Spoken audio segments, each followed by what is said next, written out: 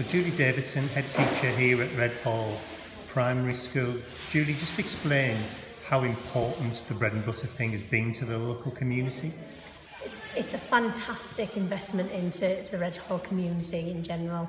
At a time when um, the, the country went into a lockdown situation and families um, who may have been disadvantaged by that lockdown were unable to access food supplies or, or other um, food banks that they previously might have accessed to support them have been able to come to their local school uh, and pick up a bag of shopping, basics to keep them going and keep their families going through, through this really difficult period.